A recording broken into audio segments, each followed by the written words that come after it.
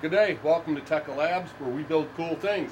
Today we're going to take a look at our new TLC 900 with its more robust sheet metal design and PWM heating, cooling, temperature controller.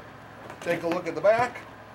Same old power input and fuse, new USB communications and our remote sensibility and switch. Here at the front,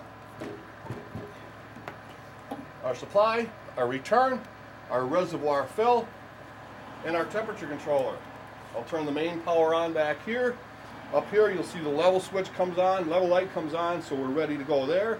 Secondary power and our pump to initiate the pump reset. If you lose flow, the unit will shut down. All you'll have to do is hit that pump reset once again to go. You also use that when you're priming your system. If it loses flow because of air cavitation, pump reset. That saves wear and tear on your pump. You don't run it dry.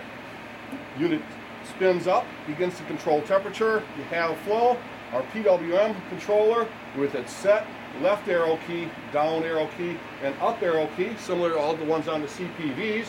If you want to adjust your temperature, go to the digit that you want to set it, use the up or down arrow to select your setting, and press set. If you want to uh, auto-tune your system, press set once, press set twice. Here you are, enable none, which is on. Go down through hand AT1 and AT2 is your auto tune to set point. We won't do that now. We'll go back up to enable none or on and press set. And there you go. That's your TLC 900 uh, liquid chiller, heating and cooling with T PWM temperature control. Thanks for joining us.